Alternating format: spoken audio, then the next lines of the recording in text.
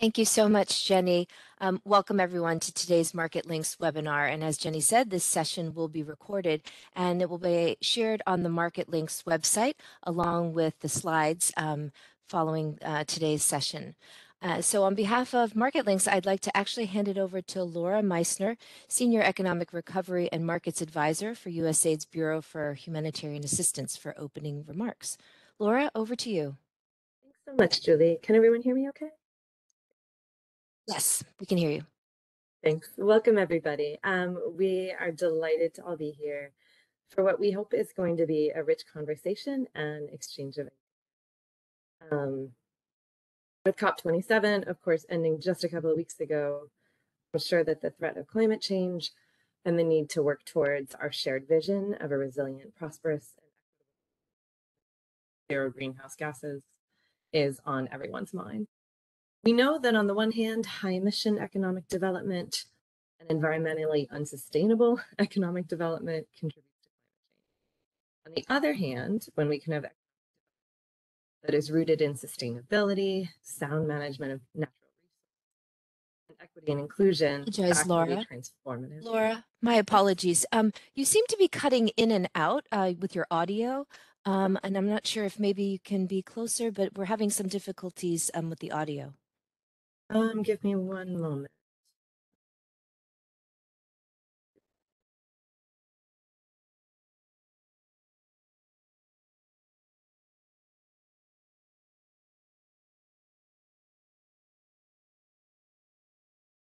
That work when you can, can you all hear me?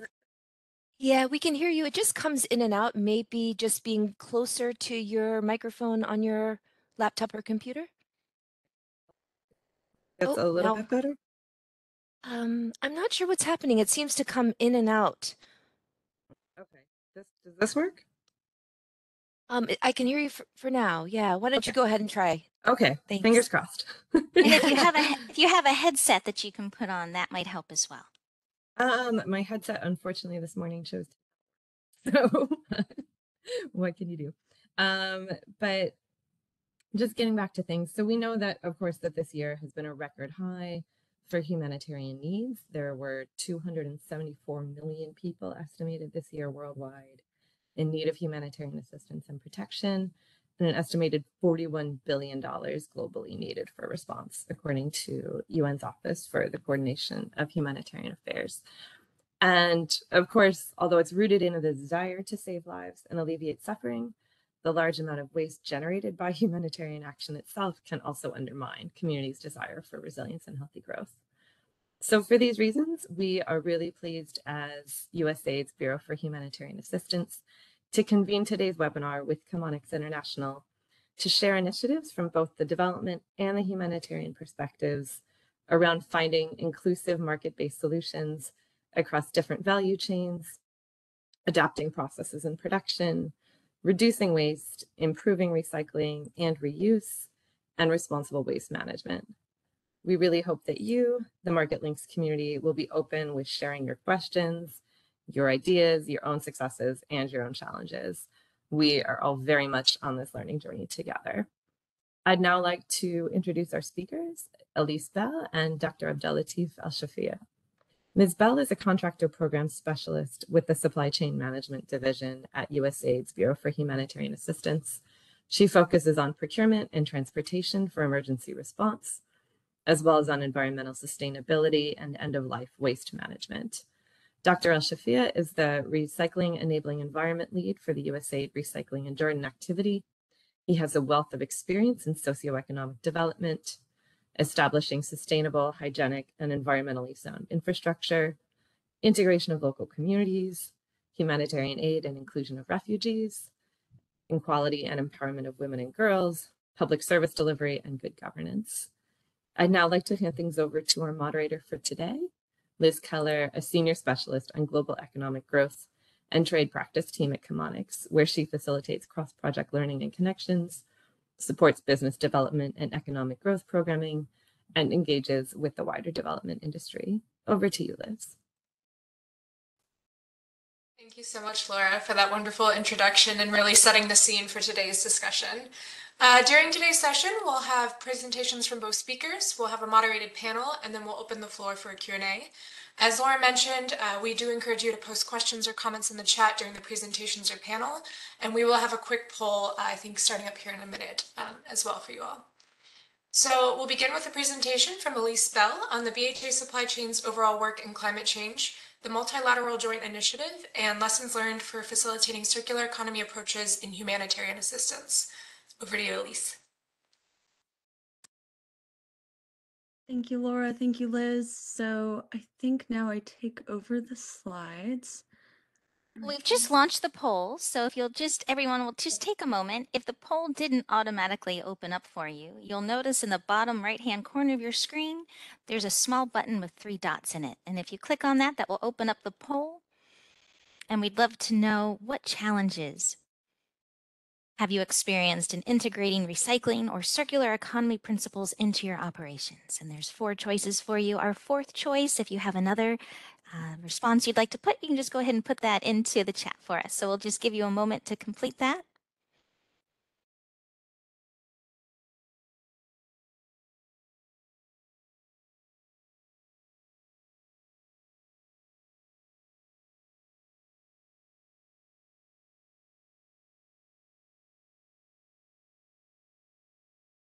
Be sure to click submit. We'll be closing the poll in just about 10 seconds or so.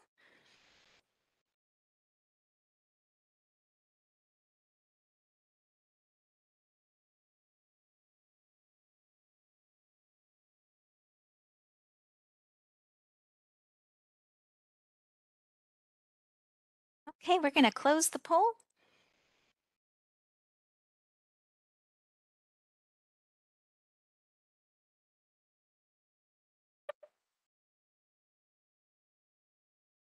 Great, thank you, Jenny. And I think the results will be coming up soon and we can maybe take a look at those in between our presentations or before the Q&A. Well, we have to show them now, and then we'll be able to close them and move the, you back to the presentation. Perfect, let's take a look now.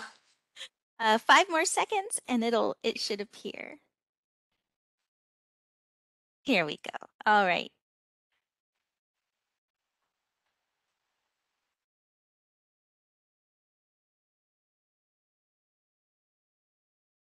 You, you're able to see the results now.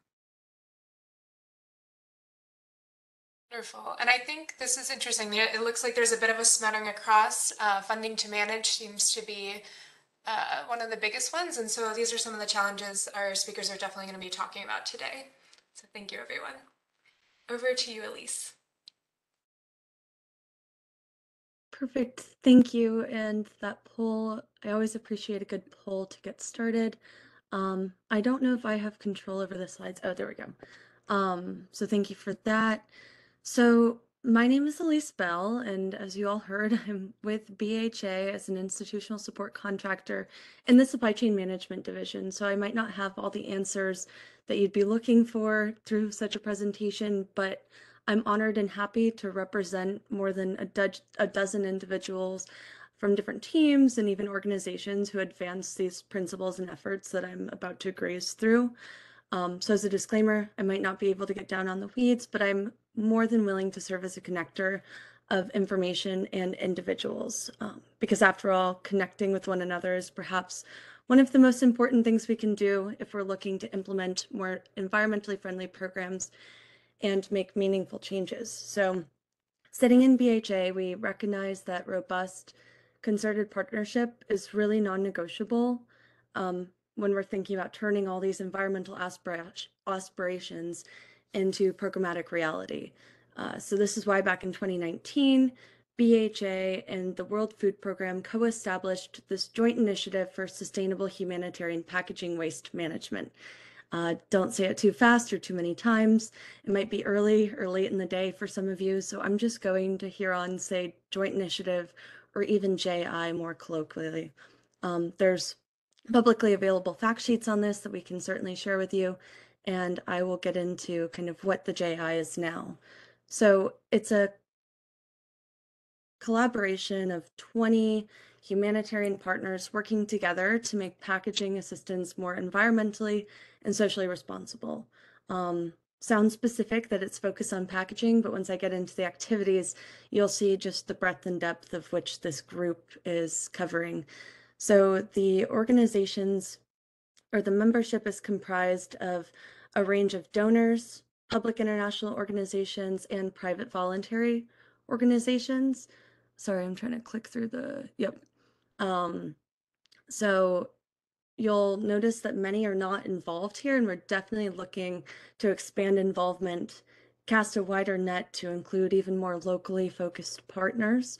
So if you're interested in learning more, or if your organization is inclined to even join in on this coordinating body, please feel free to reach out anytime. Would love to talk about kind of what membership entails, what type of meetings we have, all of that fun stuff. Um, representatives from each organization bring their own expertise, capacity, enthusiasm for um, for these different efforts, and we can't work in silos. So the JI essentially is meant to bring together this range of perspectives as we recognize common goals and coordinate on complementary activities. So here's the aim and approach. Uh, it's centered around circular economy thinking, shifting the narrative from waste to opportunities. We'll get into upcycling and some of that later. Um, but it's both kind of from the working level and from the highest upper echelons of an organization. And it's really just about raising awareness, swapping notes, seeing what we can do on this collaborative path forward. One of the things that I should note, all this talk about coordination, you all might be keen to better understand what's happening at the donor level. So we worked with DG ECHO and the Swiss Development Cooperation to conduct this multi-donor policy landscape analysis, um, essentially with the aim of better coordinating. So understanding what requirements donors put forth now to see what can be mainstreamed, what can be further greened, um, for better sustainability and what can be standardized across the board. So this is, of course, as you can imagine, a pretty gargantuan task and much is to be done. But we've seen um, quite a few kind of policy and advocacy pieces come out that we can now really point to when we look to justify, as if this work really needs justification, all of these environmentally focused efforts. Um, so we have our Bureau Environmental Officer, Erica Claseri, on the line, who actually will be able to speak more to COP27 discussions, what's come through in the climate strategy and our special objective. Um, but I guess just one to call out here is the ICRC and IFRC Climate and Environment Charter for Humanitarian Organizations. This provides a framework for the humanitarian community something that we can use holistically to tackle humanitarian impacts linked to climate change and environmental degradation. Um, there's 325 or so signatories to date, which is super encouraging. Um, we'll also drop a link in the chat for you all later so you can see if your organization perhaps is already signed on. Um, so we have many hands on deck, um, but there's definitely a lot of ground to cover. So JI activities focus on a range of different disciplinary areas, many of which are certainly interconnected, but some focus on policy advocacy. Others focus on baselining, capturing data and evidence so that we can actually have something to point to when we're looking to make changes in procurement. So one of those efforts has been, for instance, to do a massive stock taking exercise of all of the packaging units and associated empty weight of that that we put out into the world, trying to understand the cadence, the volume, the flow, um, just so we can begin to understand, you know, beyond, oh, we sent a lot of polypropylene bags. Well, how many was it? Recognizing that a lot is reused, um, what's left kind of to manage. We also focus on procurement, which I'll get into next. Um, and that goes into design, production, and distribution of the actual commodities themselves. And then we're also incorporating this end of life piece into our line of thinking in the sense that if we're really trying to do a no harm approach, we need to consider the post distribution discarded packaging or materials that don't end up having an obvious reuse or repurpose. So that gets me into um, just the rest of the presentation. In the spirit of true circularity, we're looking upstream and downstream for opportunities to green our operations. Circular economy move means we're moving from the traditional linear model of production, use, discard, to instead keep these resources in circulation and reduce our footprint. So first, I want to briefly acknowledge the work that we're doing in packaging and procurement to reduce packaging and introduce more sustainable materials into the mix. So you'll see we have a range of different packaging types here as we transport food and non-food items um, for protracted emergencies, for rapid onset responses, and each of those comes with their own challenges and opportunities to incorporate new green criteria. Specifically for the non-food items, USAID has now put forth kind of a stock set list of preferred criteria on which we would like vendors to be able to meet. It's not required just yet, but we're moving in that direction as we keep tabs on what's possible and feasible with industry. So we're looking for packaging that's derived from sustainable or bio-based, more eco-friendly materials, um, switching out the cardboard boxes for unbleached cartons that are recyclable, removing unnecessary single-use plastic wrapping around items if it does not impact the condition and quality of the goods that are being shipped. Um, so here I won't read through this list, but I'm more than happy to to kind of send our emergency application guidelines and talk further about some of our thinking around how can we loosely begin to kind of push the envelope a little bit with some of our suppliers who are longstanding partners in our supply chain so that we can all kind of move together in this greener direction. One example to optimize and reduce packaging is we reconfigured pallets of plastic sheeting to remove the need for shrink wrap and to take away all those cardboard cartons. So now you'll see that the um, plastic sheeting is folded into individual sheets and just wrapped in more sheeting and then banded by um, eco eco-friendly, more durable straps. So those are kind of some of the shifts that we're looking to make. Um, we're also kind of keeping tabs on what industry is doing. So as you heard last webinar with Alpinter, how they're looking to incorporate recyclable materials into their blankets. We have specialized nutritious food product suppliers looking to test out biodegradable or compostable options. Um, they found that this is incompatible with the needs to maintain shelf life and integrity of these, you know, RUSF or ready to use supplemental food, ready to use therapeutic food commodities. Um, but they're exploring different options and looking for ways to boost the recyclability of these otherwise pesky sachets. Similarly, on the shrink wrap side, um, we've been keeping our finger on the pulse for what industry is doing, and we tested a biodegradable shrink wrap option at the BHA warehouse in Miami. As the market continues to develop, we're hoping that more stronger, durable material um, will come to light. We're kind of balancing the trade off of what's better having biodegradable material and having to do 10 more wraps to make sure it stays intact, or to just stick with what we have and figure out how to manage it. So these are kind of some of the things that we're thinking about because we don't want to just have to rely on the country or program to have to manage waste. We're really looking to see how we can kind of do our part further upstream. Now that I've covered efforts to reduce, I'm going to cover the other two in the trifecta, redo, reuse and recycle. Um, so working to advance packaging life management, reuse and recycling really stems from this recognition of a few things. One, that we send a million plus packaging units into places that are often ill-equipped to handle an influx of materials. Two, that a significant amount of packaging is reused and repurposed.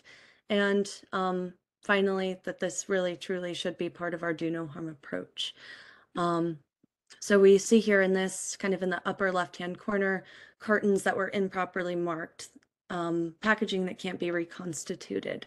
That kind of thing is something that we're also considering. So looking further up in the supply chain, not just at post distribution and in communities. Um, it's a fact that most packaging does ultimately break down or cease to have a use. So, for instance, the polypropylene bags can certainly be used to carry charcoal or other market goods. But when those break down, then they go on to another bag. How can we solidify some of those options for reuse? Um, recognize them so that we don't extract them from communities that need them, but then also look to formalize or further fuel those efforts. Um, are there ways that we can help make fences or charcoal grills or flower pots even more durable? Are there ways that we can share these learnings with other programs so that they can also continue to keep, you know, their vegetable oil cans in circularity? Um, I'm really personally excited about the upcycling piece. I think there's a lot of cool examples of you know, products being turned into paving materials, construction materials, um, charcoal grills, what have you. So I really do want to continue to identify really interesting anecdotes and examples of entrepreneurs or companies who are looking to do this. So if you have information, please reach out anytime. I love to hear it all. Um, in cases where commodities are not upcycled, we'd like to resort to recycling. So we have um, been looking at opportunities to recycle. And because this differs from place to place, program to program, the Joint Initiative has been supporting a series of mappings to identify recycling capabilities proximate to every program. Um, all of these findings are publicly available attached to the country-specific um, logistics cluster capacity assessments on the Global Logistics Cluster website. I can link a few kind of later on in the presentation. Um, but all of this is publicly available, done collaboratively, across all of the JI partners, as well as in coordination with local private sector and other local humanitarian partners. Um, I want to spread the wealth of knowledge. So the Antigua one, for instance, is interesting because it was done with the intention of understanding the unique capabilities across Caribbean island nations, not just in Antigua, um, and the recognition that many have invested in public private partnerships to aid the collection, recycling, commercialization of waste, but these initiatives are still pretty small scale and not interconnected. So we worked with local and regional partners to begin to chip away at what opportunities to connect these waste streams exist, recognizing that many of these countries are in the face of recurrent natural disasters, um, see an influx of materials every year, and just finding ways to more proactively assess those landscapes rather than being in the throes of an emergency and then starting to look for options to recycle. Um, collaboration is also really important on this one because we need to continually update these findings as the landscape changes. In the bottom left hand or in the bottom, what is that, right hand corner, you'll see um, kind of some melted looking material, and that's actually flexible plastics.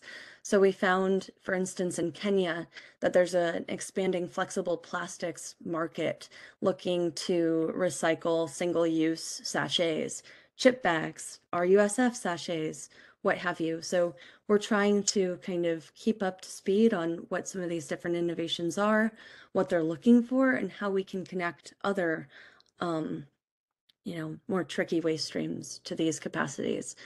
And we also need a more robust stock taking of the informal sector and entrepreneurial efforts to recycle and repurpose. You'll notice that that's missing from the Global Logistics Cluster capacity assessment reports. It's certainly a very intricate but important and foundational um, thing that we have to understand when we're looking to create these interventions. But um, just a disclaimer that we're the door is still open on all of these conversations. This brings me into one study that BHA specifically consigned. It's a private sector landscape assessment for Ethiopia and Kenya. And a PSLA is essentially designed to inform the extent to which the private sector is already supporting humanitarian assistance in a target region or sector. So for us, it was anything related to circular economy in East Africa. Um, some of our interviewees extended beyond the confines of Ethiopia and Kenya to include places like Rwanda and Uganda, two places that have actually very robust waste management capacities already stood up. Um, we chose Ethiopia just because it's a site to some of our largest programs.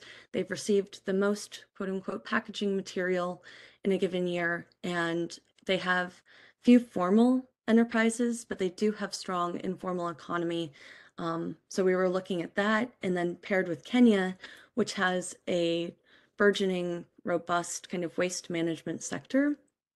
In Kenya, we actually learned that there's so many recycling companies in Nairobi that some are going out of business because they just are competing for such a finite pool of resources within Nairobi proper. Of course, there's so many other localities that could use their services throughout the country, but there are challenges to expanding operations, which I'll get into here as well. Um, this considered the range too. I should read, actually read the slide here.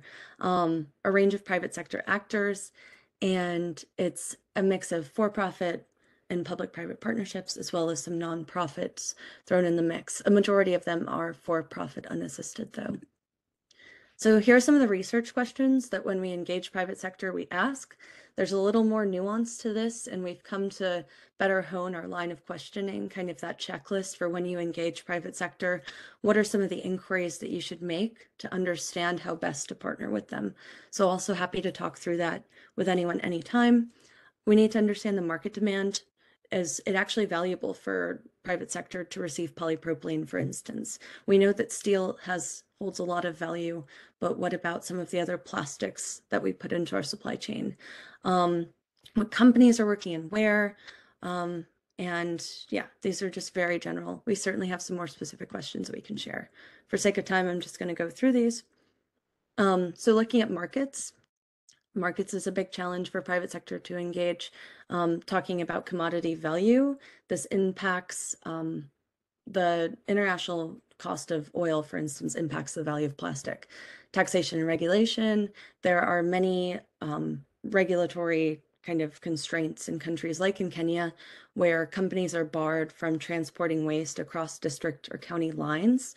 Supply, collection, labor, transportation. I think you can begin to understand what some of the challenges would be there. I just noticed the time, so I'm going to zoom through this. Um, so some of the recommendations that came out of this for BHA were to essentially look to institute waste management procedures for better sorting and tracking. So this is crucial for working with humanitarian organizations.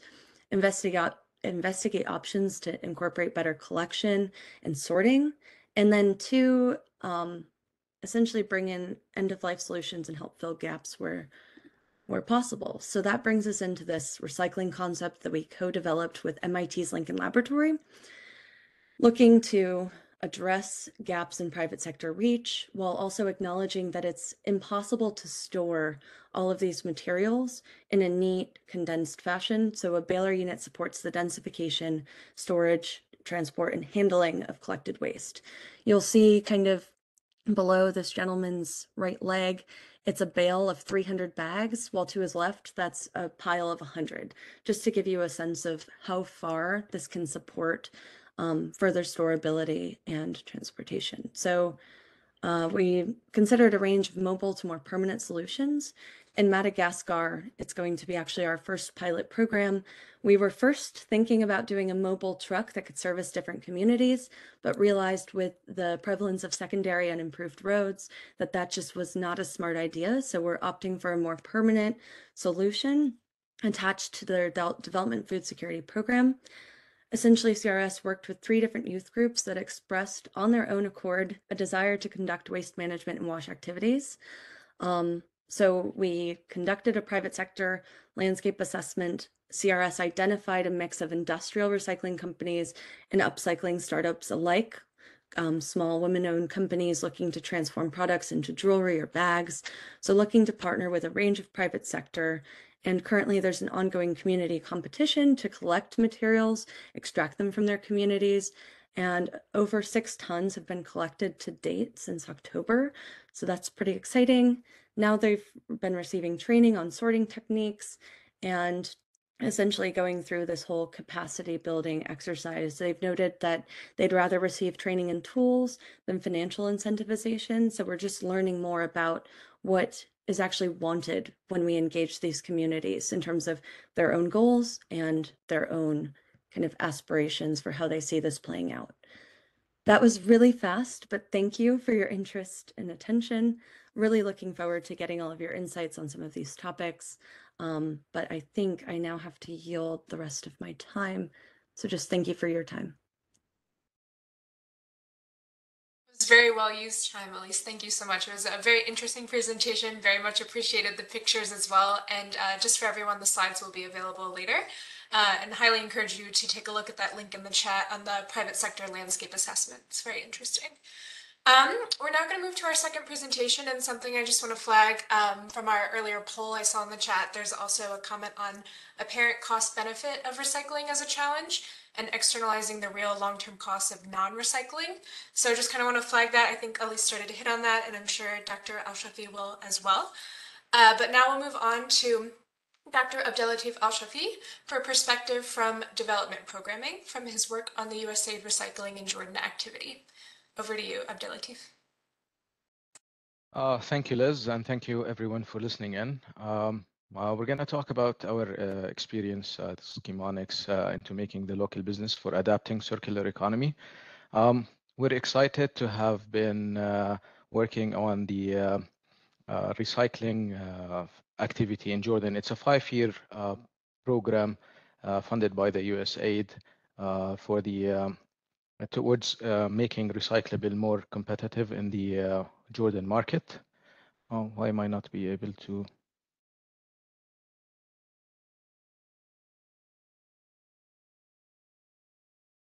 Okay.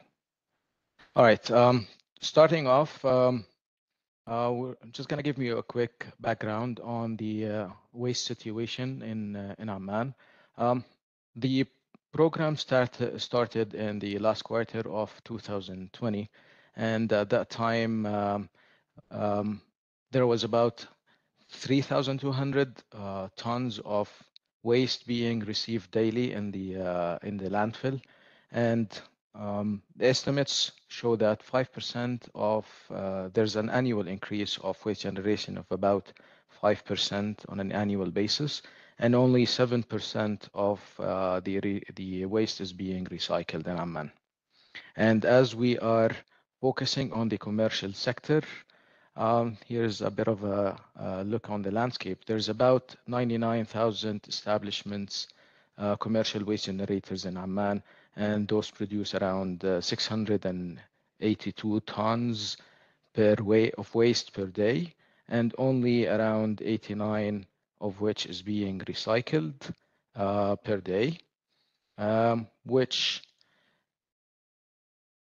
gave um, the direction of the activity into increasing the commercial uh, recycling utilization, in increasing the commercial sector uh, utilization of recycling services in Amman. Okay. Um, as we said, uh, the uh, the activity is a five-year activity, and we're just hitting the uh, third year of which, and we're gonna uh, we're now sharing some of the results, uh, the the activity results over the five years. Um, of course, these are not the um, uh, most they're not obviously the the full indicators, but we chose some of the key ones that are relevant for the for today's presentation. Um, in terms of waste diversion from the landfill, we're trying to hit 116 tons per day over the uh, 89 tons that are diverted today from the landfill by the private sector. Also, we're trying to get to 2,500 establishments using the uh, recycling services from the private sector. And we are supporting the private sector service providers, 250 of which to improve uh, practices or technologies. Um, moving forward, uh, we're also looking to increase the uh, number of full-time equivalent jobs created through the program to 800 jobs. And uh, we'd like to give access to increased recycling material for 1,800 informal waste pickers. And also on the investment, we're trying to leverage $5 million from the private sector investments throughout the activity.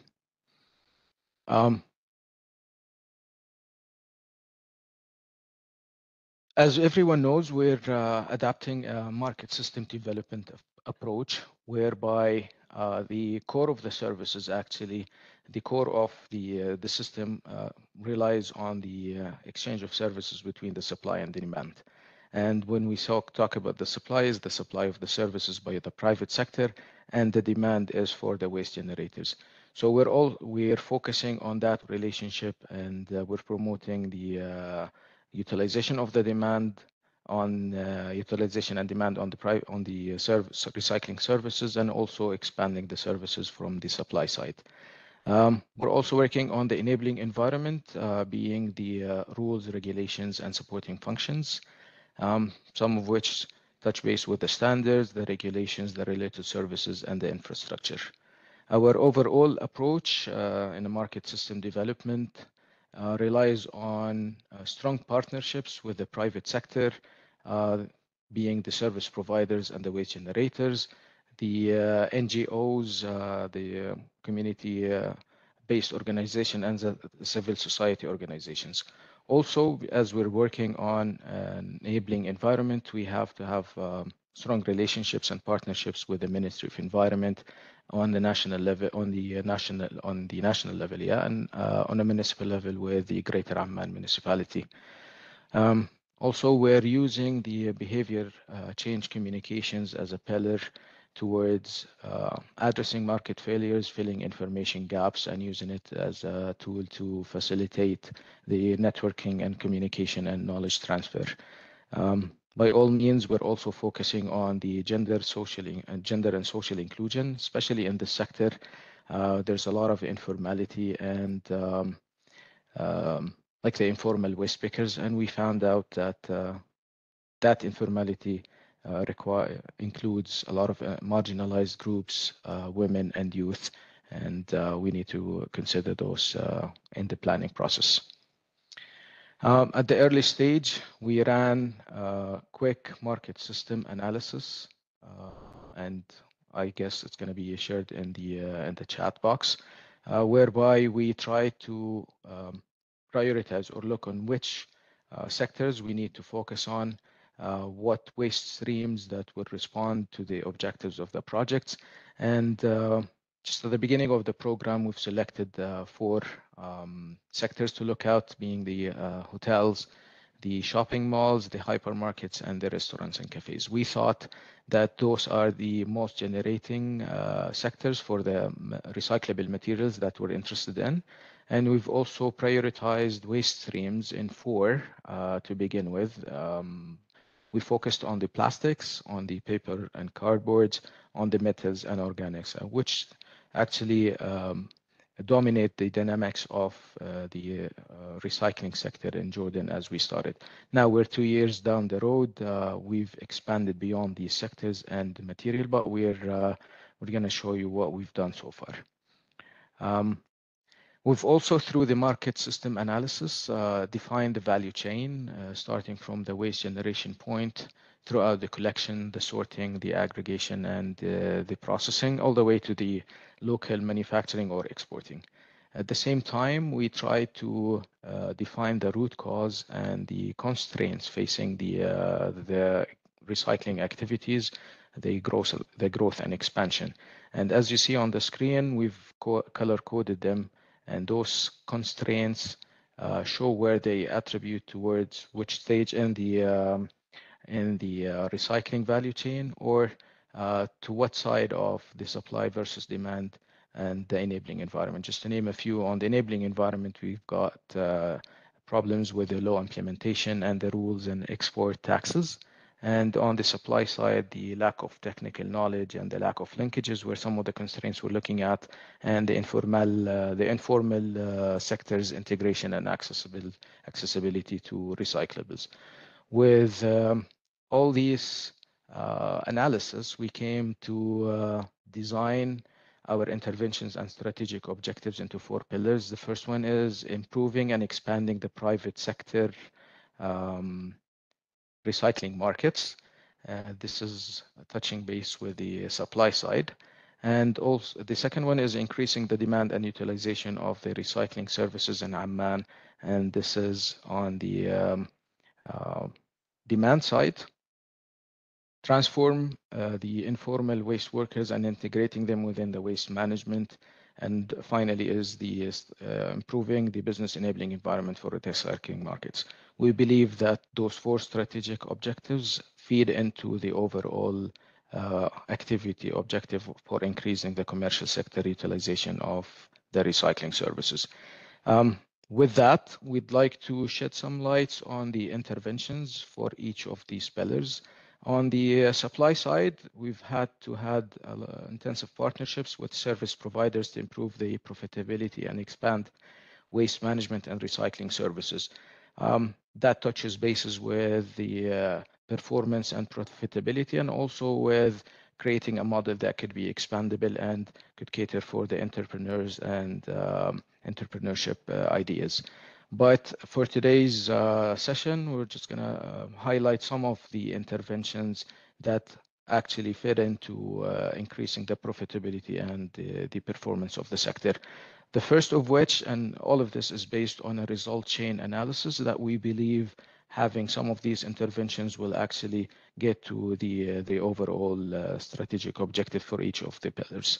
So starting off with the small and growing business, we believe that the um, most of the service providers of the uh, are of the uh, small and growing business uh, sizes and they have limited capacities and they have the lack of business skills for that purpose we designed a small and growing business uh, training program that was designed to improve the market understanding enhance the value proposition and with these they would be able to develop uh, effective service promotion and increase the performance and profitability uh, the training curricula of course catered for the GC requirements and integrated them within the, uh, the training material. And to ensure sustainability for the delivery of the training program, we've partnered with local host organizations and uh, local training for the implementation uh, of the, uh, the training program. Till date, uh, 48 participants uh, engaged with the training program out of I would say like uh, the uh, the starting pool for the service providers, the ones that were reported in the MSA report were around 200 uh, institutions or or establishments. Um, witnessed improvements were actually found while uh, having a one-on-one coaching and uh, seeing the development of the uh, business growth plans by the people who went through the program. Yet, um, with these sessions, we felt that there is a need for a firm level technical support that should focus on the um, areas or domains that are actually prohibiting the business growth, some of which is improving the supply chain, uh, the linkages, the partnerships, and uh, give them the chance to expand their services and capacity to handle more clients.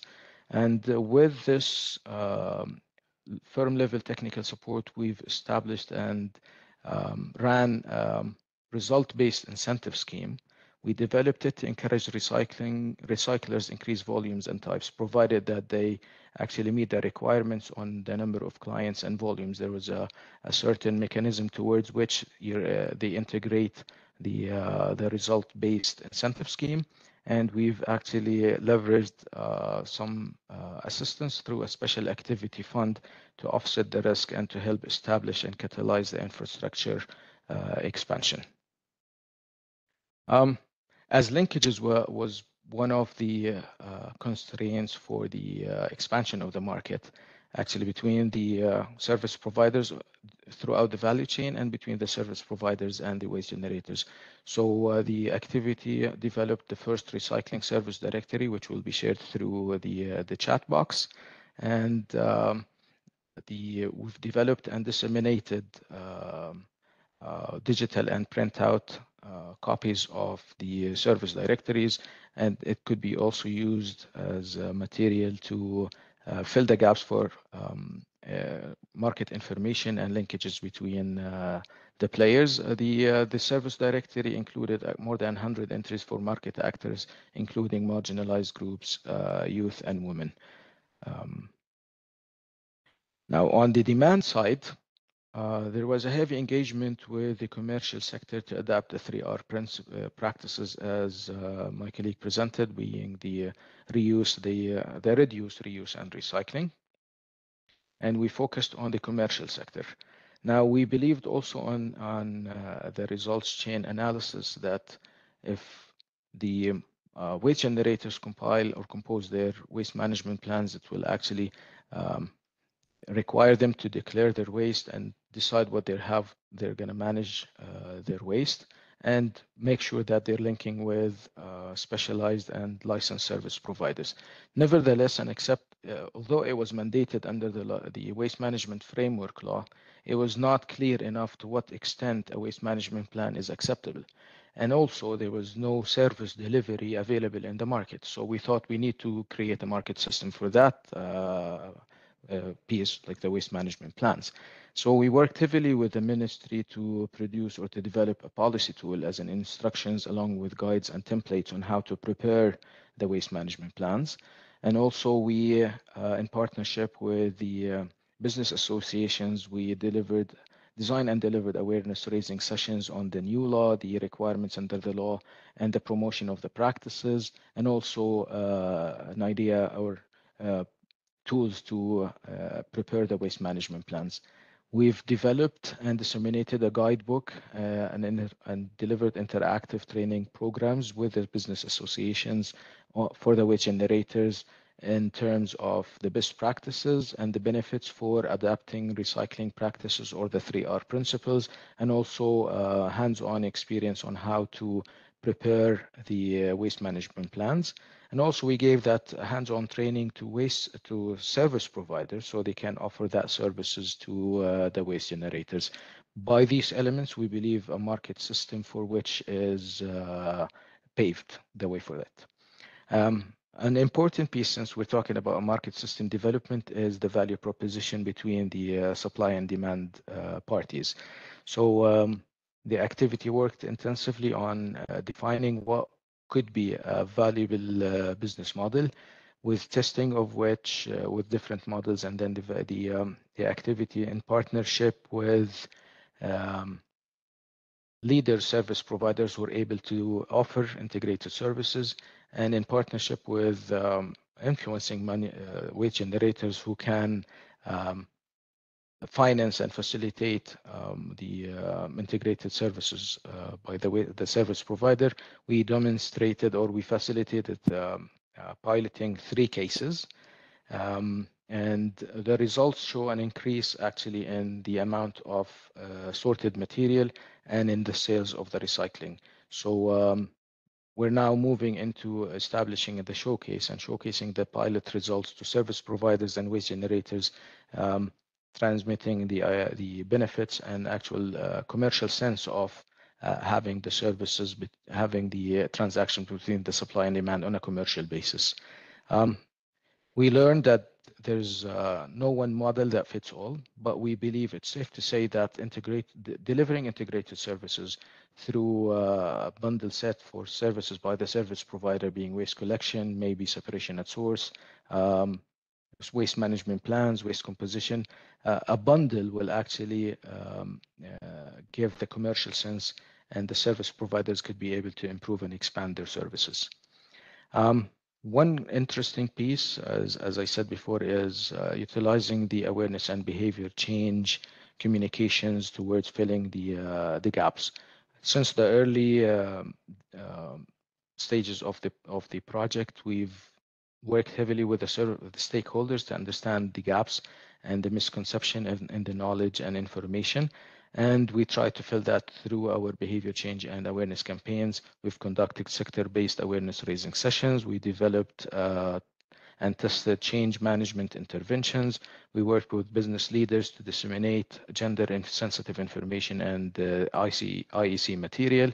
And we've uh, actually, in um, partnership with the ministry, the Greater Amman municipality, and 20 ser service, I mean, private sector entities and um, uh, business associations, we've launched a behavior change campaign that lasted over a month.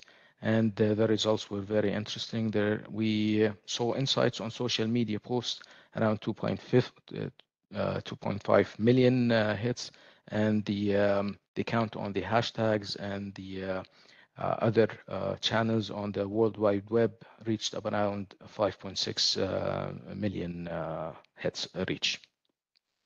Um, getting towards the end of my time, so I'm gonna just uh, zoom in through the rest of the slides. Uh, the third strategic objective is to uh, transform the informal sector. The market system analysis also showed us that there's a, a lot of informalities in the market, but this informal activities actually count for most of the 7% of the recycling uh, rates.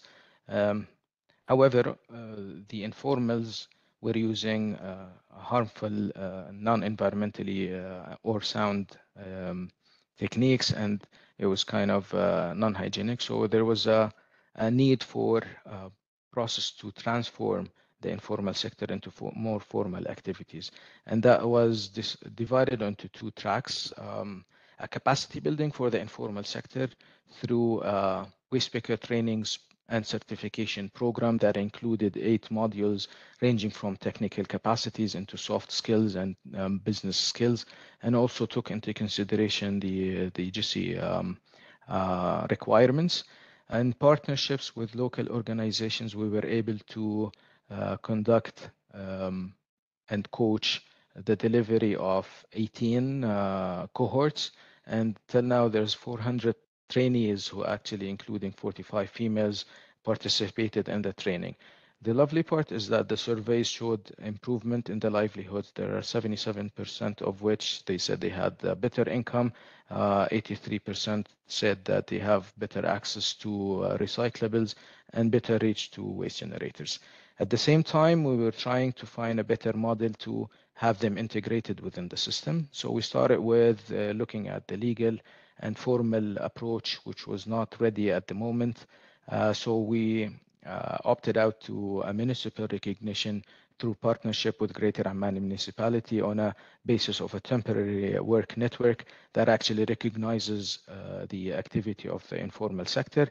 And we're at the moment trying to find a way to form, have that activity uh, integrated within the formal uh, value chain.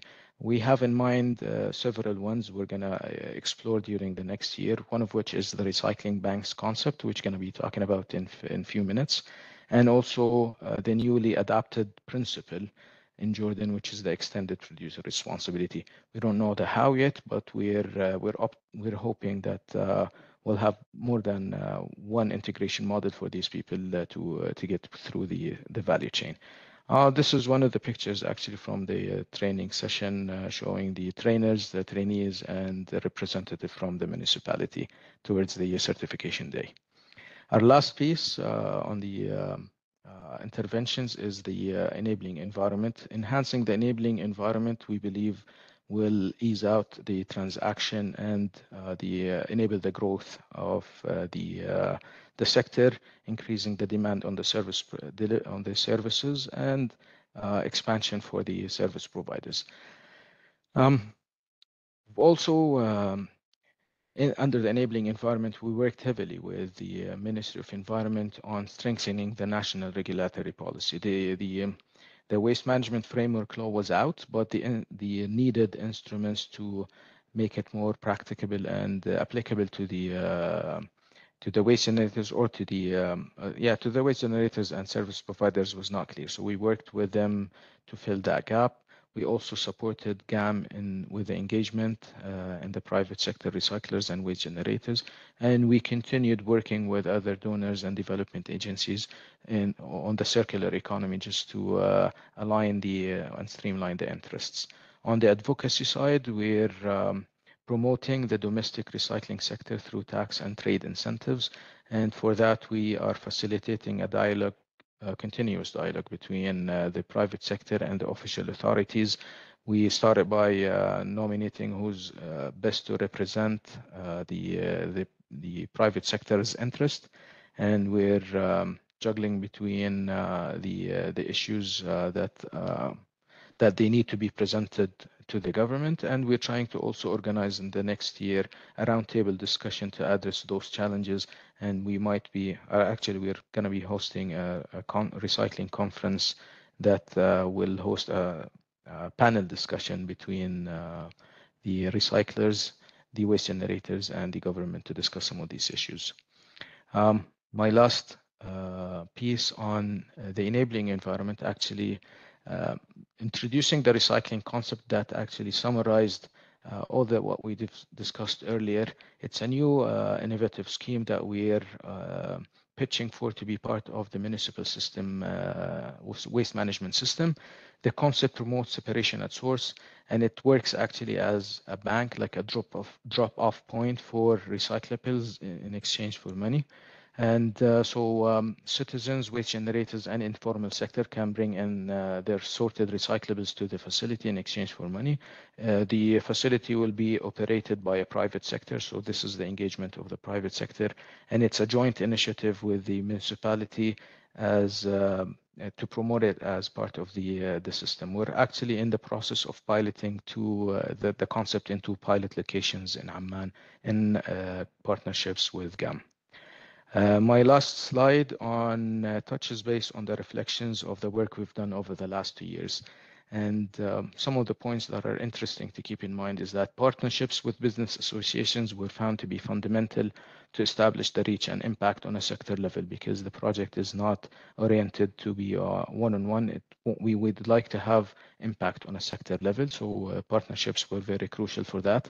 Service providers, uh, they have different uh, modules and business models to deliver their services. So there's no um, one size fit all uh, approach. And uh, um, there was a bit of a, a, challenge to finding out what business models could work and what not. And we're still growing with these ones to, to cater for the available uh, service delivery modules in, on the market. Um, municipal recognition schemes were found to be more acceptable and easily done to integrate the uh, the waste pickers rather than the formal system, which has been um, uh, the, the, the the country was trying to uh, to achieve over the last five years. So we were able to break through that barrier. Uh, legislative process unfortunately takes time and involves multiple stakeholders, which affects the practical implementation on the ground. And also the uh, law enforcement has not encouraged the private sector engagement in the waste management. So the focus was on creating the uh, the commercial sense and establishing the one-on-one relation between the supply and demand side. Sorry if I take more than, took more than my time. Uh, this is the end of my presentation. I give it back to you, Liz. Thank you. Thank you, Abdellatif. It was a, a, very interesting presentation and so wonderful to see. You all have a lot of activities going on, but it was it was very helpful to see the holistic view as well, working in all the channels. Um, I think we, so we're going to move into our Q&A session now. We have some moderated questions, but actually there's quite a number of questions that have come up in the chat. Uh, so I think we'll actually flip it and start with those just to make sure we get through them. So let me just pull those up. And then if we have time, we can hit on the others. So it looks like the first question, and I believe Elise this may have come up um, during, during your presentation, so we can start with you and Dr. Abdellatif if there's anything you'd like to add. Um, and just to note, uh, feel free um, if any of your colleagues would like to join with supporting remarks, I'm happy to have those as well. The first question is, is there a repository of successful, adopted, or scaled upcycling ideas? Um, this person loves the example of the planting containers made from metal containers. So maybe Elise? Whoever asked, I'd love to collaborate with you on one. I have kind of an Excel file where I've been capturing names of companies, you know, from uh, Kenya to Colombia to everywhere in between, and would love to continue to expand that list and um, just further that stock taking exercise. So maybe it can be a collaborative effort, but I certainly have an Excel file that can be shared with others. No formal activity has been done though on this, so at least not yet. I love how open you are to collaborating. Maybe we include that in our links as well. Thank you, Elise. Um, great. Well, moving to the next one then. Um, of the four categories of waste, and I believe Abdellatif, this may have come up when you were talking about uh, commercial waste generation, uh, which have been proven to be have the most potential for recycling reuse. Are any of them especially problematic? Well, this is an interesting question. Um, actually, it's always the uh, the market and the uh, the regional global uh, challenges dictate what what is being collected and what is being dealt with. Um, at, at the moment, um, a lot of effort is put into the plastics and the paper and cardboard. The challenge is with the um, um conditions or the prices of water and the, the scarcity of water and the prices of the power it's not always easy to have recycling facilities and in markets within the country. So most of these transactions end up being exported uh, out of the country. But plastic, I think there's a lot of potential into it, and um, there's a lot of activities being uh, happening because the the byproduct or the end product of which is not limited. So I think plastics, paper, and cardboard uh, have a great potential uh, for recycling. And I know Elise you kind of hit on this as well. Is there anything that the, the BHA or joint initiative is looking at um, differently or more in line in the same lines of what Abdellatif is mentioning? Nothing specifically yet. I think we're trying to rely on insights um, such as his to further kind of inform our direction. So it's all super interesting. Um, great. Well, and I think a, a, lot of these came up during um, maybe related to Jordan, but again, Elise um, or Laura, if there's anything from the, the more general BHA perspective, please feel free to include as well. But the next question is what is the profile of the firms that were supported, uh, meaning size, capacity of recycling, and what were their incentives to recycle? Who paid for their recycling service? So I think Abdellatif, um, we'll start with you. Yeah, sure. This is also an, there's another interesting question. Um, most of the recyclers uh, in the private sector are small and growing business sizes. So um, um, only few of them were actually uh, proper businesses in terms of size, but still the uh, the offering is is limited, and um, the incentive was um, getting more material because the problem is with the supply chain. So uh, the uh, the idea is to have the waste generators separate their waste at source and have the accessibility of the service providers to collect that the uh, recyclable material. And uh, the way it was done before, none of these practices or limited practices were on the uh, separation at source. So uh, service providers were not so productive in terms of collecting the um, mixed waste and transferring them to the landfill and picking whatever they can from the recyclable materials. But with the uh, introduction of the waste management planning, declaring the types of waste and having the separation at source, that was the incentive for the recyclers to include or the waste management operators because some of them converted from not being recyclers into recyclers because the availability of the uh, quality and volume of recyclables are being sorted at source and that was their incentive to pitch for integrated services and make a commercial sense for the uh, waste generators and the recyclers to deal with the recyclable material. Thank you. And I think that really hits too at that, you know, the core of the market systems approach you were talking about with hitting at root constraints. So that's really helpful to know. Um, Elise, this one's a bit more general, so maybe coming over to you. Uh, as most of the consumers in your host countries have limited income, will your innovations increase the cost of consumer products, including food? Um, will this reduce the affordability of food and reduce food security? It's a really great question, and I'm sure that that would be more in line with some of our local, regional, international procurements. Laura Meissner, our TPQ markets lead, might have a better answer for this.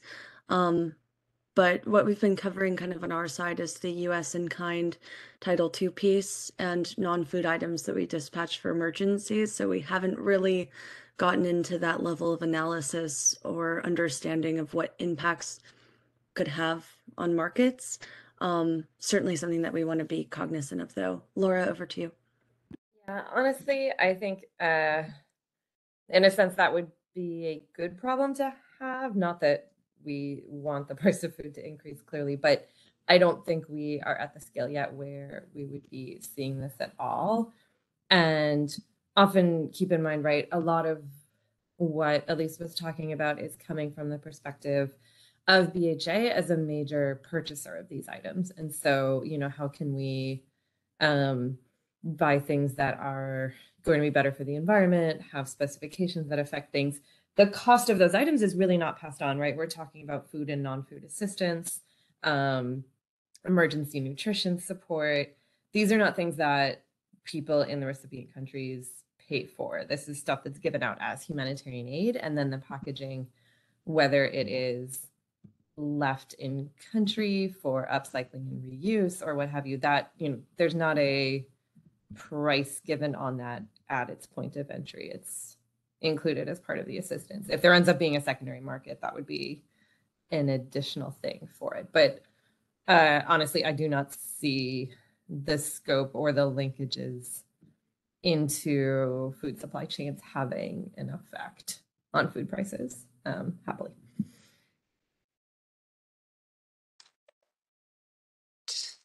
And thank you both uh, for response. And sorry to be kind of skipping around. I think um, some of these are, are, very specific in general. So thank you. Uh, I think as your uh, we change perspective between both. Um, but coming back over to you, uh, Dr. Al Shafii, can you speak to the tax side of the uh, market systems development? Were there any tax credits uh, for actors in the system? How much? And what were the aggregate gains or subsidies given? Oh, actually, this we well, what we've done so far is highlighting where the uh, root causes is and the uh, areas of improvement with key recommendations. Um, we're trying with the uh, engagement of the private sector to put pressure on the uh, government to make some changes on the same. Nothing has happened yet because we were still in the um, planning phase and uh, finding the uh, the best um, spokesman on behalf of the private sector to make those challenges and to lobby against them. But uh, some of the areas were actually um, uh, having a, a, level plan, a level field for the um, uh, recyclers, uh, because now today I think there is a different treatment between the waste streams and the, the types of waste.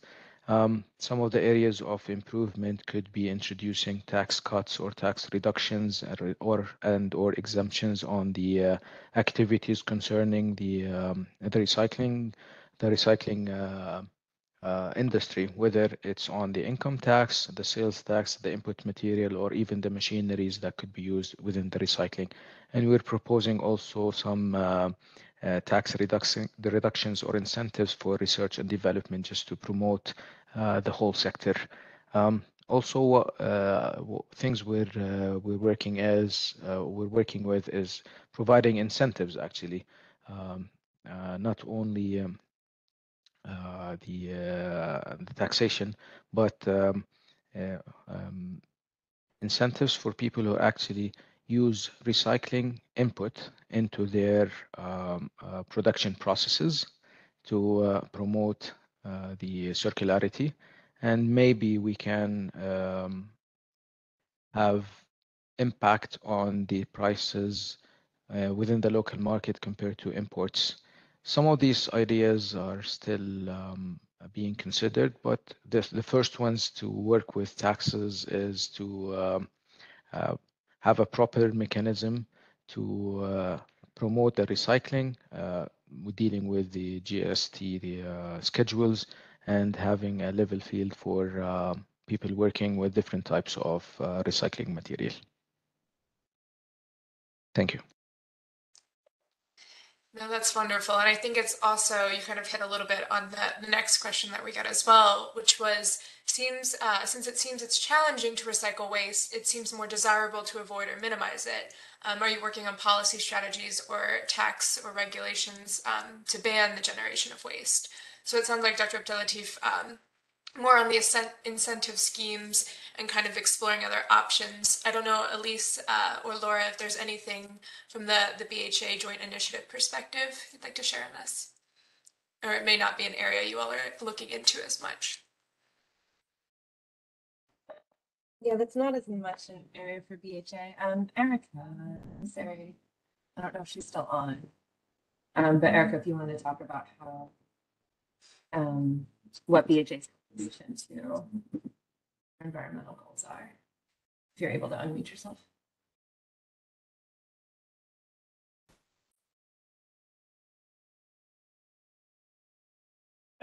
Okay, many thanks for that, Laura. Sorry, I am uh, a little bit of a delay in unmuting myself. Um, so, um, with apologies, if if the question could be could be reframed. Um, Sure, yeah. Um, so to, to repeat it, since it seems challenging to recycle waste, it seems more desirable to avoid or minimize it. Are you working on any policy strategies um, to tax or regulate slash ban the generation of waste? So I think um, a, a, good a good way to look at this in a very big picture manner, and, and again, um, I'm Erica Claseri. I'm an, an, environmental officer with uh, the Bureau for Humanitarian Assistance and with other BHA colleagues, uh, deeply involved in the development of the USAID climate strategy. So I think it is really exciting to see the level of attention, not only during the climate strategy development, but even beforehand with the agency and global emphasis, including in the US Congress on reducing marine plastics, uh, for example. And so this work that we have been doing for many years now in the joint initiative has also been engaging with um, some of our development partners, looking um, in those types of spaces as well. And as I included a chat earlier in this uh, discussion, it is quite um, critical to note that under our climate strategy, you know, looking at issues of plastics not only in our programs, but also again um, as, as, as, our own footprint as organizations, um, including our supply chain, right? That's part of our footprint. You know, we have a massive uh, supply chain um, as, as the work that we're talking about here, and also thinking about Global Health Bureau. So that special objective uh, that I noted early on, and I included a link on the Climate Links website for people to learn a little bit more about that. That really is um, putting that kind of policy level attention on really thinking hard about how we can reduce our own plastics. And again, we don't reduce them as the US government, we reduce them in concert with our private industry, uh, producers, uh, distributors, et cetera, et cetera. So, um, and I think we do have a good example. Um, Elise, forgive me, I don't know if you mentioned, um, I want to say it's next week, uh, the Joint Initiative is hosting uh, a session with Shelterbox, um, talking about how Shelterbox has removed a lot of plastics, for example, in the shelter package uh, kits for humanitarian assistance.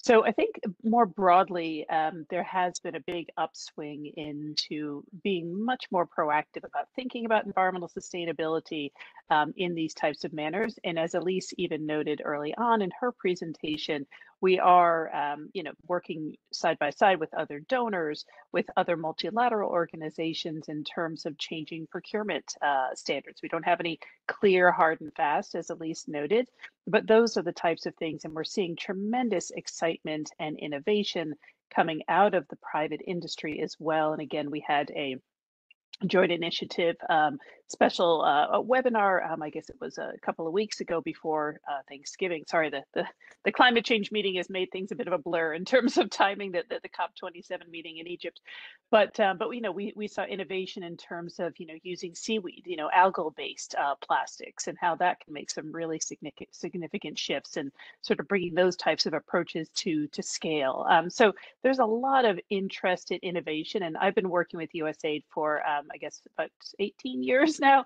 And frankly, this is uh, the, the, the, biggest attention that I have seen um, towards these types of, um, you know, focus on plastics and focus on, on really seeing ways that we can be more effective and efficient um, in our humanitarian assistance, uh, certainly. Thank you. That's wonderful. Thank you, Erica. And I think you you really underscored the importance of the enabling environment piece as well when we're looking at the, the systems approach. So no, thank you. Um, If I see if your hand you have your hand raised. Would you like to add something? Uh, yes, please. Uh, I, I like the question, so I wanted to chip in with some of the things that we're doing. Um, uh, we're actually using the enabling environment and the regulatory piece to push people towards using the services of the private sector and to push waste generators towards having um, their waste separated at source and dealing with licensed and authorized uh, waste um, uh, service providers, recycling service providers. But also, we're using these mechanisms as, um, um, or these pieces as mechanisms to um, direct people towards reducing actually the uh, the waste, because under the uh, uh, polluter pay principle, we're um, moving into uh, the um, the mechanisms for the fee schedule to uh, against uh, providing the the waste management services by the the municipalities to be um, as an um, a reversed mechanism for people to avoid um, producing waste, generating waste, or moving towards the separation at source and recycling. And on the banning uh, issue, I think we're we're going to start discussing with the ministry the uh, banning of or the reduction on the single-use uh, plastic bags and uh, getting maybe some um, uh, regulations or instructions out of the door, the door to to deal with that piece as well. So I think the um, de dealing with the uh, regulations could be a strong piece actually to uh, towards changing behavior for the waste generation. Yes, thank you. It's wonderful. Some very interesting activities. Thank you. Um, there's a couple questions I think getting around some of the the work with the informal sector, some of the work kind of when we're talking about a just transition. So I might group a few together. Um, but maybe just a quick first one um, for Abdellatif. Uh, are the waste pickers compensated uh, from public or private entities at all? Just kind of a quick one. Um, direct compensation is only by the sale and the transaction for the sale of recyclables that they get their hands on. So uh, informal sector today with their not very regulated practices. They reach out to recyclable materials, which is not in great volumes and not in good shape. But this is what they can get without our intervention to have them recognized and access they increase their accessibility to material. And then they manage to sell those recyclables to middlemen and aggregators along the way. And this is how they're compensated by no means they're compensated or accepted even uh, by the uh, the public practice, but um, because they don't have any solutions for them, the actual law for banning these activities is not fully in, triggered. So um, this is how they get compensated at the moment. Thank you. And kind of taking that a, a little bit further, one person had a question. Uh, what could you tell us about the work policies in the collection centers that include the exclusion of uh, child labor, forms of payment, among others? Uh, so maybe, yeah, if there's anything specific to that, or maybe more in general, just some of your work um, when you're looking at those policies in the informal sector.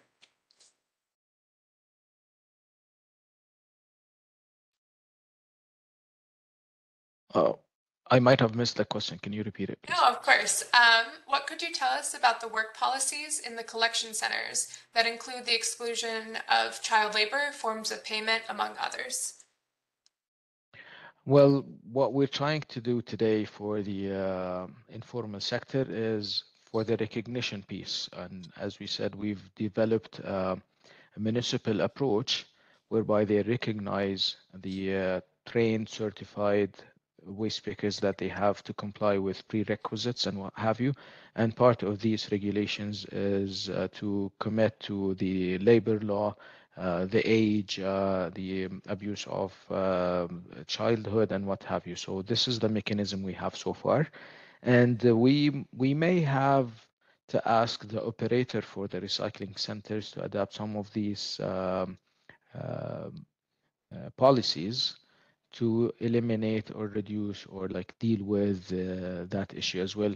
Uh, once we integrate the the informal activities with those recycling banks. We're still in the design phase, so uh, once we get to implementation, this is a good point to take into consideration as well. Wonderful.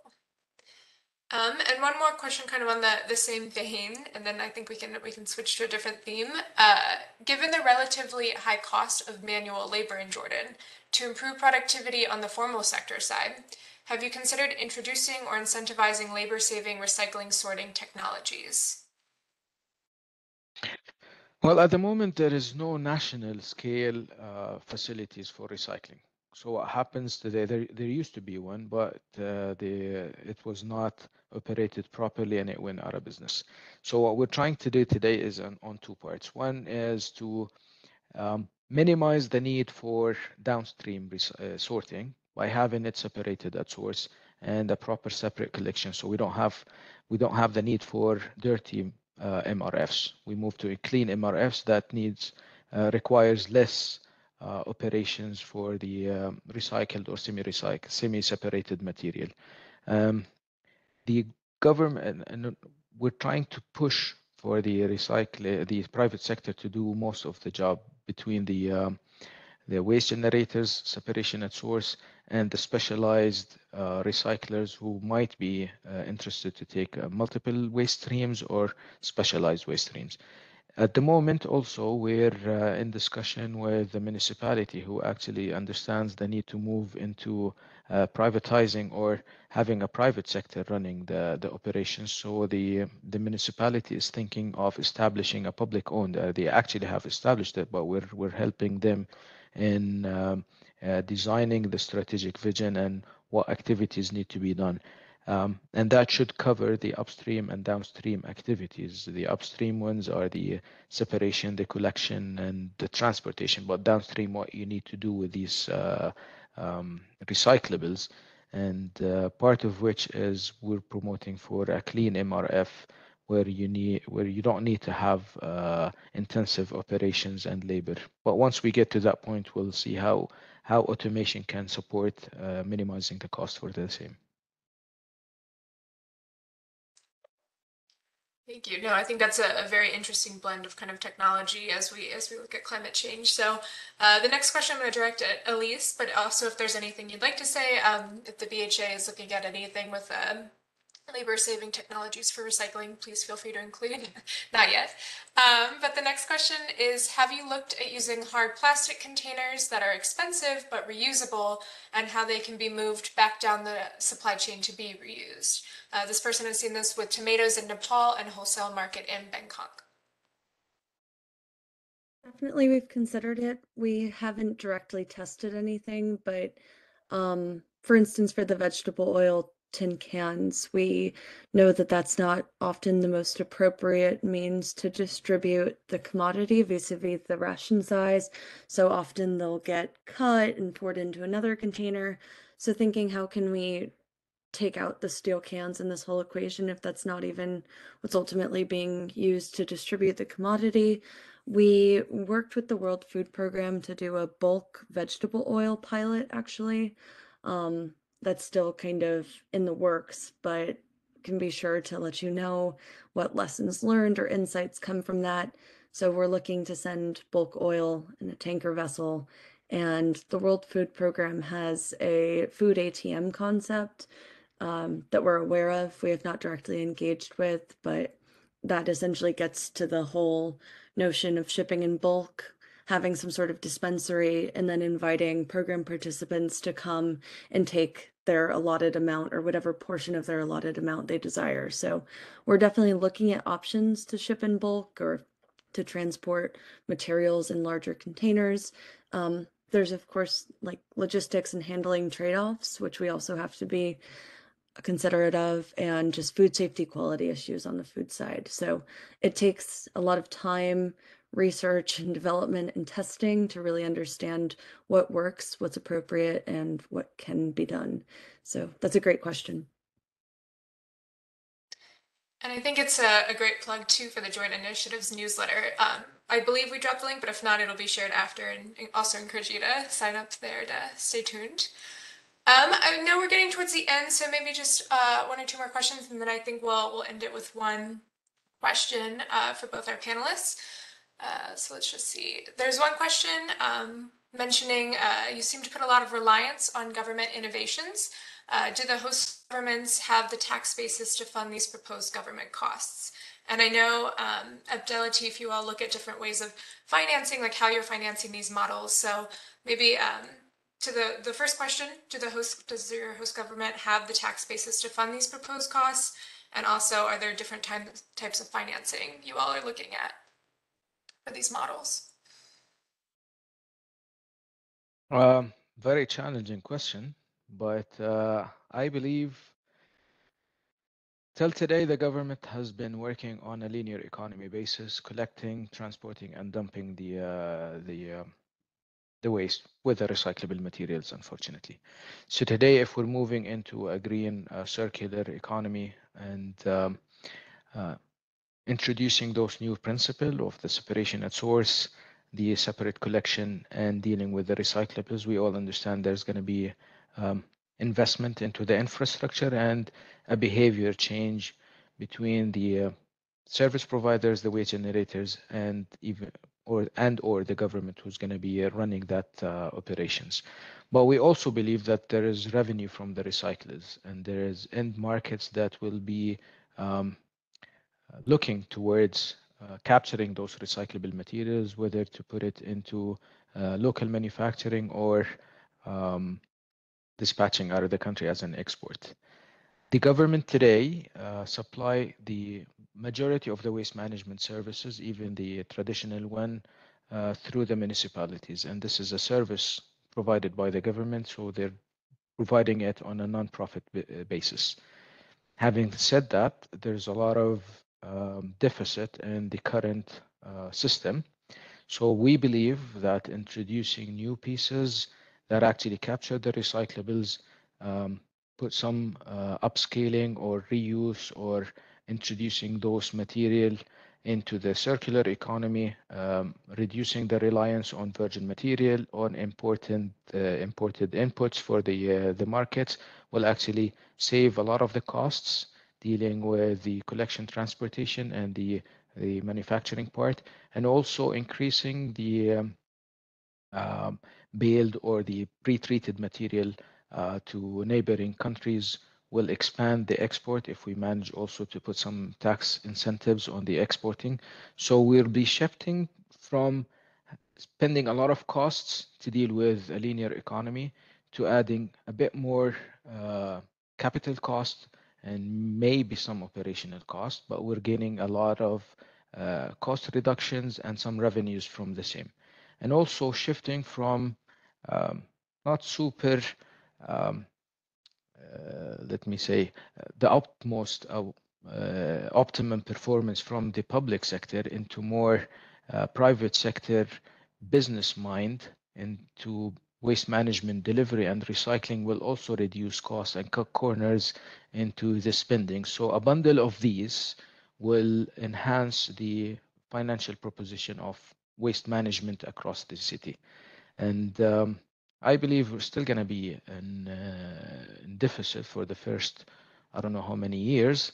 But if we if we do it properly and if we try to find the best utilization of the waste, introducing the uh, complementary technologies to get more uh, benefit from the recyclable material or the energy uh, that could be extracted out of the same, and reducing the cost of having to deal with the existing landfills or the closure of the landfills and the monitoring and whatever you have to do for the life cycle after the closure.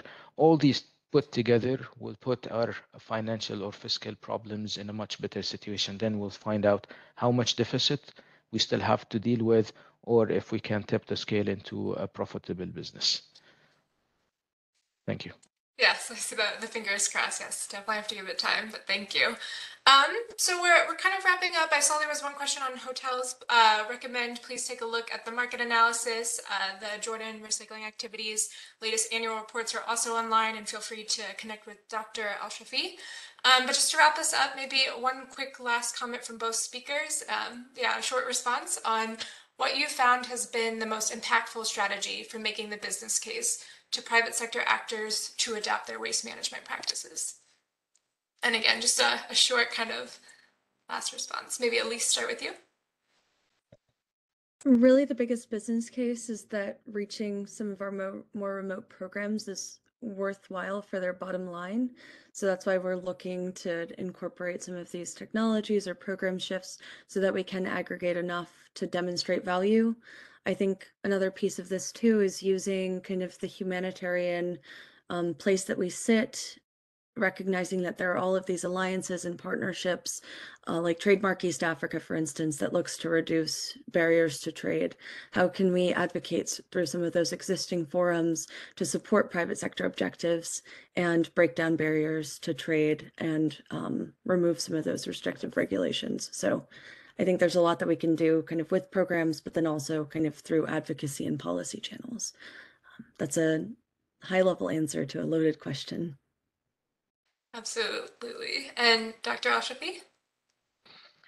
Yeah, just quickly, um, yeah, uh, dealing with the actual trades of the market system development and learning the barriers and what is stopping or hindering the system from running by its own and um, capitalizing on the um, uh, regulatory and uh, law pieces. And from our experience, we actually found out that the environmental um, uh, motivations is not enough. The law and the enforcement will not get most of the people to do what they need to do. So the what, what is successful in making the business case is to find out a win-win situation and transaction that is actually beneficial to both the supply and demand. And this is this has been proven by practice that this is the core of the market system, and this is what Jordan needs. Uh, most of the people are still reliant on the services that's being uh, to the majority of it subsidized and delivered by the public system. But today, with the implementation of the new law system, uh, the, uh, the waste generators have to start believing that they're part of the solution. They still have to pay for the uh, um, the proper service delivery, uh, the uh, integration of the um, extended producer responsibility. Like everyone knows that they should be part of making that system happens. So we're preparing people that if it's coming by the law, you might as well uh, take a few steps ahead and start um, uh, preparing yourself with the waste management plans, understanding the value of the, the, the waste that you have uh, within your facility, um, uh, uh, how you can reduce the costs, how you can make profits if you're dealing with the private sector. So integrating an economy sense and a commercial business deal between the supply and demand, this what has been uh, uh, successful so far, even on the service provider side, because everybody was on a stereotyping um, uh, thinking that uh, it's more costly to uh, to deal with recyclables than just to take a mixed waste and transport it to to the landfill, and everybody is um, so attached to their existing business models. So in in inducing the new thinking of a commercial sense while while dealing with recyclables that are separated at source with better volumes and qualities and make the business sense of it, I think this is the trigger that we're working on. And I think that that was a perfect way to sum up the, the webinar and the very interesting presentations you both have given us. So thank you both so much for taking the time to speak with us and share the important work that your programs are doing, as well as your diverse uh, perspectives on how we can all work together uh, to advance the circular economy of practices in a sustainable and inclusive way. So thank you, and I'll turn it over to Julie and Marketlinks to close us out. Thank you so much, Liz, and thank you to all of our wonderful speakers today uh, for such interesting and engaging presentations and dialogue. Um, we want to thank all of you for joining us again, and just a reminder that today's webinar has been recorded and the recording will be shared on Marketlinks, as well as the slide deck, as well as a list of many of the great resources that were that was shared today. Um, so thank you again, and hope you have a great rest of the day. Uh, to exit today's meeting, just click on the red X at the lower um, navigation bar on your screen. Thank you.